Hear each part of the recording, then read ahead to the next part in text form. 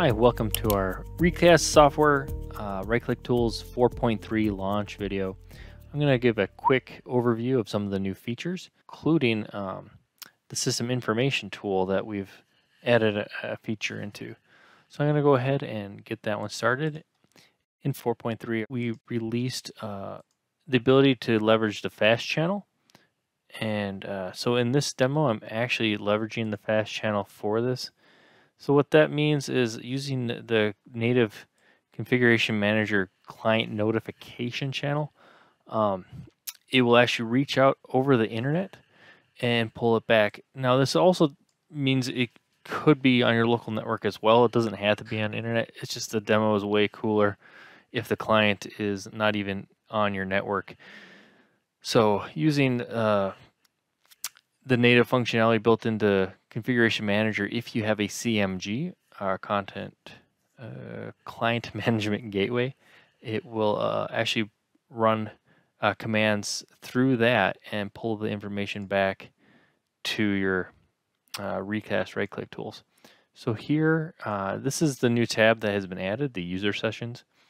Uh, this will show a list of the users that are currently logged onto the device. Um, this is handy if you've got several people logged onto the device. You can go and kick them out. Uh, I don't know if this ever happened to you, but I've gotten incidents where I can't find a task sequence in Software Center, and it's just driving me crazy. And then I realize that there's several people actually logged onto the machine. Uh, a tech or someone uh, already peed in, and because there's multiple sessions, um, the task sequence doesn't show up in my Software Center.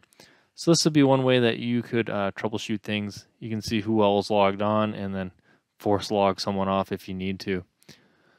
Uh, and this is working all over the fast channel. Some other things that were added here in 4.3 were the ability to right click in additional places. Um, so for instance, inside of here, we've got um, these new, when you drill down into different menus that are provided in the dashboards, uh, we can now right click and run actions on, on these devices as well.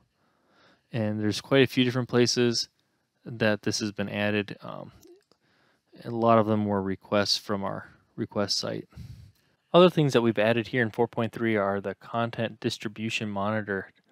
Now this dashboard will uh, pull information from your distribution points and then it's going to give you an overall uh, summary of, of the content that's on them.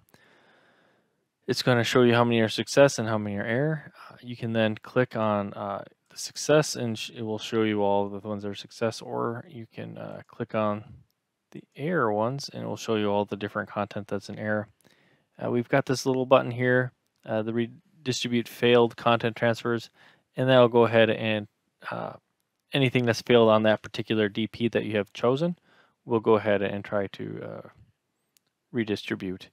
Now, there's also quite a bit of information over here that's uh, kind of handy to have in one place. So you can check the status. Um, you can see we've enabled LEDBAT and HTTPS on these. Um, and this here distribution point, for instance, is not internet facing. Whereas if I go and check out my CMG, you can see that it is internet facing. So there's uh, just quick status like that is quite helpful and then you can uh, still take action on the different items down here as well. And we'll go into this more. Uh, so please uh, sign up for the webinar if you're interested in, in learning more about these features. Our engineers will be available for Q&A as, as they go through these new features that have been added. Uh, thank you very much.